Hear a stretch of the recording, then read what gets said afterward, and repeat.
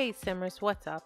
I am back with another tutorial that I'm going to do a voiceover for this one and I'm going to show you how to make a fishing pond with a functional bridge and you can do this with just base game. You don't need any packs for it, so let's get started. As always, I recommend using the Sims 3 camera. The next thing you're going to want to do is open up your cheat bar with Control Shift C or for some people Control Shift C and the Windows key and then you're going to enter your cheats which are bb.move objects, bb.show hidden objects, and bb.show live edit objects. And then on the right side of the bottom of the screen, you're going to have a filter option and you're going to want to filter for base game. Now because a lot of the show live edit objects do not have a name other than debug, we're going to search for the closest thing to the object we want. So in this case, you're going to type lipstick into your search bar. Then you're going to scroll down one row from the lipstick and you're going to see the bridge that I'm using in this tutorial. So now you want to place your bridge where you would want it to be over your pond and then you're going to use the custom pool tool and draw a pond around the bridge, of course leaving it narrower in the middle section where the bridge would be. If you want to change the shape of the pond or remove an area, just hold control while retracing the pool area that you want to remove. Here I'm giving the pool the green trim so it sort of blends in better to the surrounding area instead of that really uh, bold white trim. To make this bridge functional, I'm going to draw a one by one room with the room tool. Then I'm going to put this flat square piece on top of it. If it's easier for you to place it with the grid on, just hit the G key and have the grid on. Now just pick up the room you made and sell it. Then you can see this platform, you can just move up and down freely. So now I'm going to use the arrows to move the platform and drag it over to where the bridge is going to be. Now I'm going to use the height adjustment arrow in the center to lower the platform. I want my bridge to be a little bit lower, but you can choose whatever height you'd like for your bridge. Next I am raising the bridge up with the 9 key and I want the platform to be above the bridge so I do not want the top of the bridge tiles to show through the platform. I want the platform on top of it. And then I'm going to shorten the length of this bridge and add some stairs. And here I'm adding wallpaper and floor tiles. Choose whichever ones you think would fit your pond best. Now I'm going to add some fence posts to the sides of the bridge to make it look a little bit better. So just type world fence with posts into your search bar. Grab four of them and size them up twice. Then you're going to hit page down and go down to the bottom level, basement level. Turn the grid on with G so you can place these posts and you're going to want to raise them up with 9.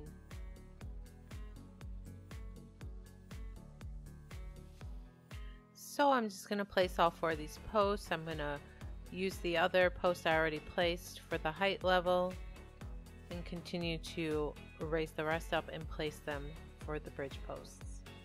Now I just added tiles onto my bridge and you can pick whatever tiles you'd like. Now we're going to type the first unicorn into the search bar to get us to the debug rocks. So here we have in the show live edit objects, we have a whole bunch more rocks that you can choose from to decorate and landscape with. So I'm just going to alternate with these couple of these different rocks and put them in different places around the edge edges of my pond.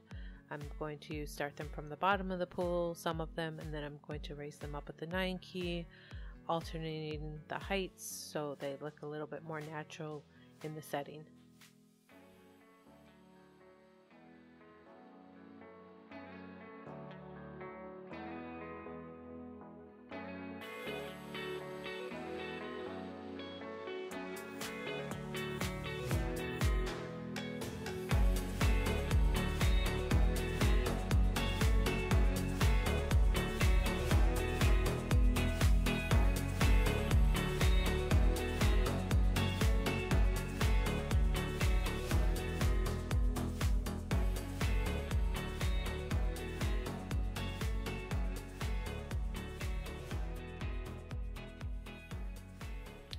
So now I'm going to place this base game grass all over and I'm just going to hold shift and alt at the same time while I'm placing it and then it's just going to keep duplicating it and then I'm able to rotate it with my mouse as I'm holding alt so I can place it very quickly a whole bunch of it at one time.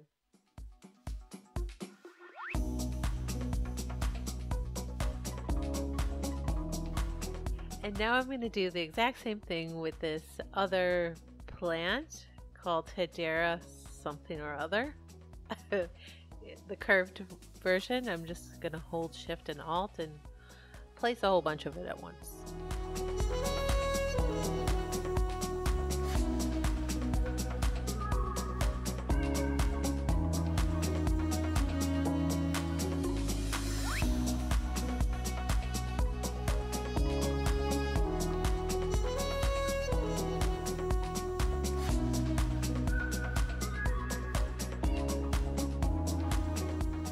For the next segment of the video, I'm going to be placing some more Show Live Edit objects that don't have a name as uh, landscaping decorative items.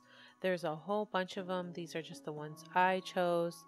You can look through the, the Show Live Edit Object debug menu and choose what you would like to landscape with along with, you know, regular game objects to make your pond look more pondy.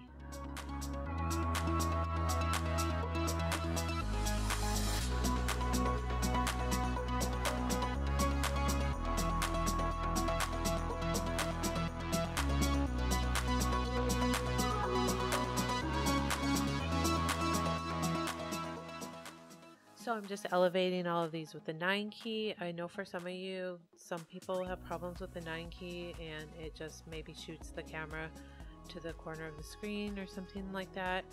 And maybe you can hold control plus 9 or shift plus 9. You can try those and see if that works for you.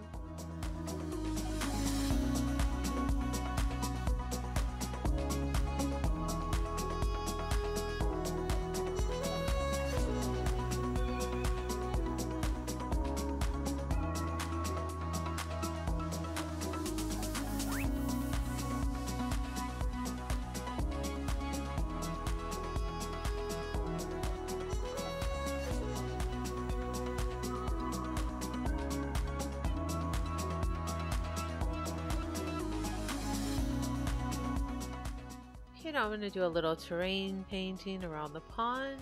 And I like to use different um, terrain paints and different softnesses of the brush to like blend them together. I think this makes the terrain paint look more realistic.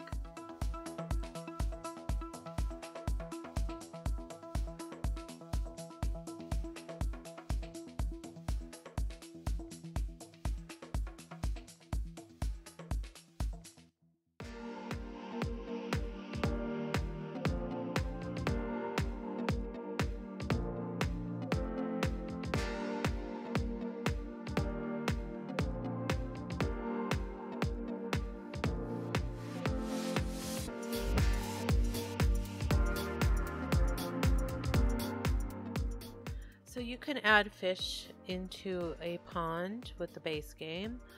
You can type grass of the glade into the search bar and that's going to bring you to these debug fishing signs.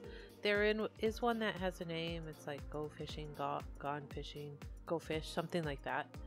But when I search for it by that name, it always brings me to a jungle adventure fishing sign. So I just thought this would be the easier way to get you there. If you don't really care for the fishing aspect and just want fish in your pond or you want additional fish in your pond and do want the fishing, you can take this sign and size it down to the smallest size and then you want to make sure it's at the same level as the pond, the top of the pond waters, and then you can hide it somewhere like in a plant or something and then it will generate fish. You do need to make sure that there is enough room in your pond because there is a like a distance gap from the sign to where the fish spawn. So you don't want fish jumping through the grass.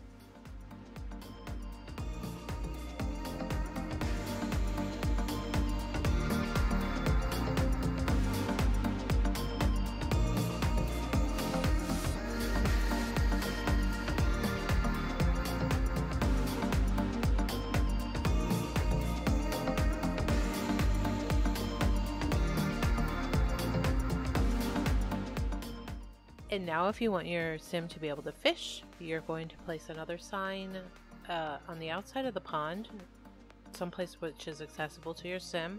Make sure you play test this by clicking on the sign and making sure that your sim can fish. I'm just going to add a few more finishing touches to my pond, uh, some lights and whatnot. You can add as many of those fishing signs as you want if you like want like crazy amounts of fish in your pond. Just make sure that you place them at the, the right distancing from the sign to where the fish spawn. I did make this pond with a waterfall, but the video was um, a little bit too long, so I had to cut that part out. If you do want me to do a tutorial on a waterfall, just let me know in the comments. And as you can see, everything in this works. You can walk across the bridge, you can sit on the bench on the bridge, you can go swimming, you can go fishing. So it's a nice little park.